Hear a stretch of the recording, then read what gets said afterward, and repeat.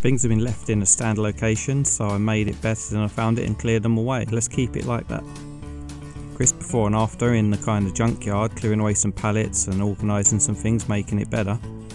Josh drawing an improvement shelf for Marius, and this is Marius before and after, improved his trolley, powder coated with the help of Dan and Josh, great job. Phil put a stand location on the strapping machine, Peter and Daniel put a stand location for the bins in production room, great job. Patrick sorting out files that had been built up over the year, and Alex fixing more stock locations, making everything premium and a definite home for him. Great job, everyone.